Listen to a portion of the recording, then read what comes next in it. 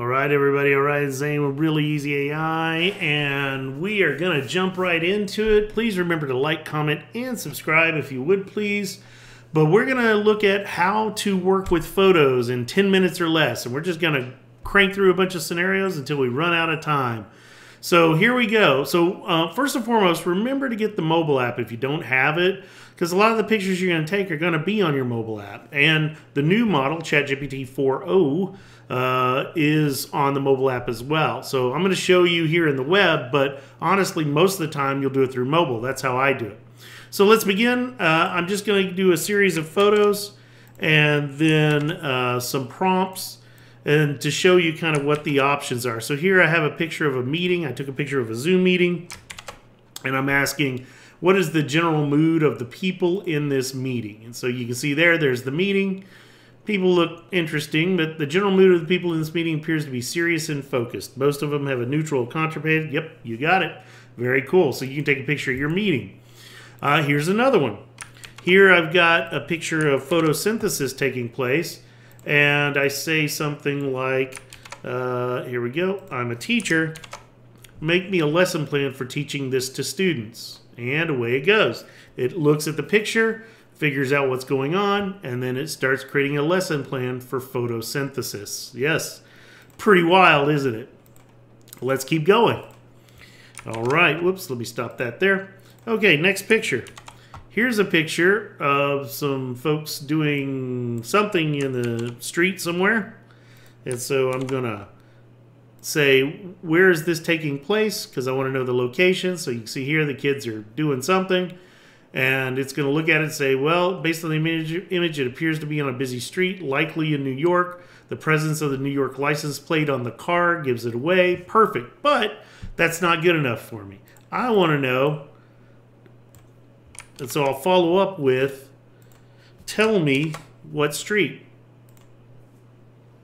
And so it's going to do some detective work and it's going to figure out exactly where we're at.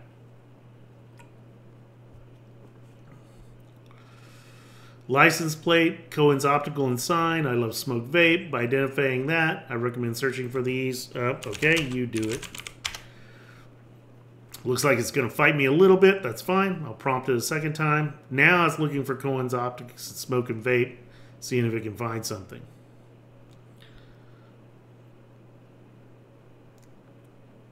Okay, well, that's fun. Normally it finds it pretty quick. Let's try one more time. And I'll start a new chat too. Uh, let's see here. Tell me the street this is happening on. Sometimes it just gets a little janky.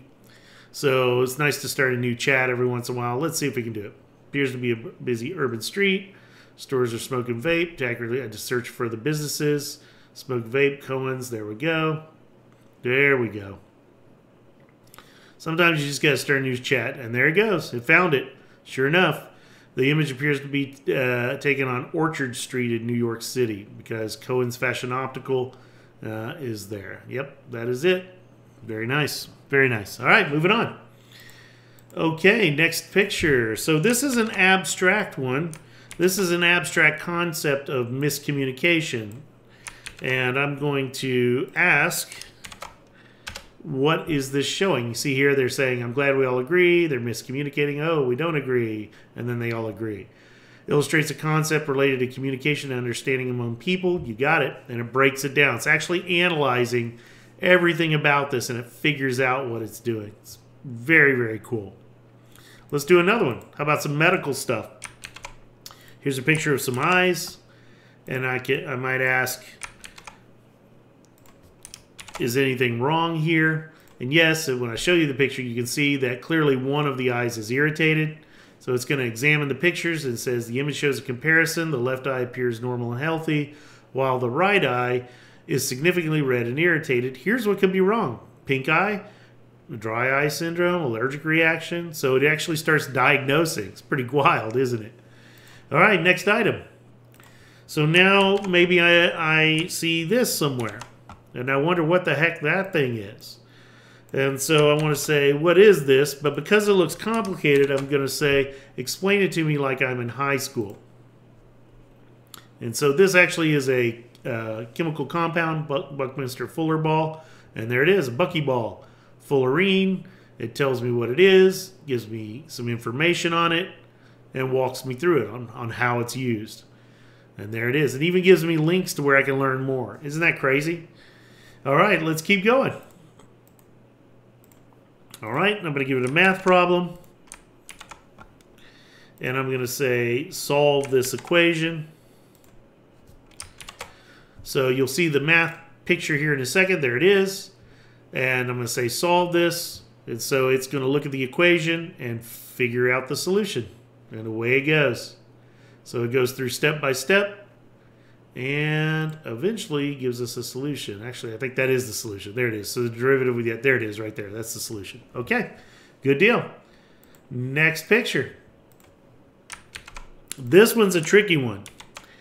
This one I doubt anybody knows, or if you do know, extra bonus points. Let me know in the uh, comments if you if you got this one before it guessed. But here's a picture of a woman and a diagram, and I ask, what is the relationship between these images? And the images show Hedy Lamarr, a famous actress, and her patent for frequency hopping communication. That's right, the famous actress Hedy Lamarr invented the precursor to Wi Fi that we have today. Very, very cool. And it recognized the relationship. Now, what about images that we're like, ah, I'm not sure what's happening? Let's take a look at this one, for example, where I just don't know what's going on. I just need an explanation of some kind. Explain this to me. Let me show you the image. Look at this image. I mean, it is an eye chart and a half, right? I have no idea what this is supposed to be depicting. So I just say, explain it to me. It says the image you're provided is a highly detailed and intricate diagram of the human brain and its neural pathways. Oh, okay, cool, good to know. So that's pretty wild. Let's keep going. So let's say I'm on my mobile phone and I take a picture of some parking signs because I'm getting ready to park.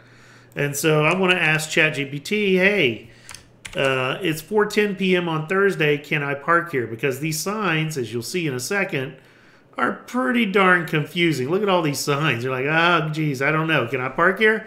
To determine if you can park, let's analyze each sign. So it goes through each sign, analyzes each sign, and says, this is Thursday at 4 p.m. and none of the other restrictions apply. You can park here for one hour. Make sure to move your car by 5:10 p.m. to avoid any penalties. If you have district permit 4, you're exempt from the 1-hour limit. Pretty nice. Hopefully I do have district permit 4. All right, let's keep moving on. What about homework? Well, it can solve that too. As fate would have it, I'm going to say, give me the answers to this. And away it goes. Notice here's some nice little snapshot of homework on my phone. Let's solve each of the questions given in the image. Goes through, starts solving them. I'll go ahead and stop it there. But you get the idea. How about cooking? Well, yeah, give it an image of anything that you are interested in, and you can say, What is this and how do I make it? And away it goes. It's going to figure out what dish this is and tell you how to make it. This is uh, beef stroganoff, by the way. Yep, there it goes. Beef stroganoff, classic Russian dish, and there's how you make it. Let's keep going. How about a picture of my living room? This really isn't a picture of my living room, but we'll pretend it is. And let's say I'm really into feng shui. If you don't know what that is, look it up. But I say, how do I make this living room feng shui? And away it goes. And it starts figuring out how to realign the living room so I can make it feng shui. And there it is declutter and organize. All right, let's give it another one. How about a crossword puzzle? The Times crossword puzzle. And I say, give me the answer to 12 across in this image. I'll show you the clue here in a second. See it there? So uh, you can see 12 across, boundaries around English or French city, five words or five letters. It's right here, 12 across. And so it's going to go through and figure out the answer to that. And there it is, and it'll figure it out. The answer across uh, to 12 across is Lille. Uh, I'm not sure that's right. I may actually have it regenerate. and do it again. And we're almost at time, but I'm going to go a little over because I want to show you one more uh, after it solves this. There it is. Uh, okay, perfect. And then the last one, poker hand. And I say, what is the best hand I can have here? So I do apologize for going a little over, but I wanted to show this to you. And there it goes, best hand. And we are done as soon as it figures that out. Slowing down a little bit because I think everybody's getting on the model tonight. There it goes. Best card we can have is a pair of aces. All right, boys and girls. Hopefully you enjoyed that nice run through of what you can do with photos in ChatGPT 4.0. This is Zane. I'll see you next time.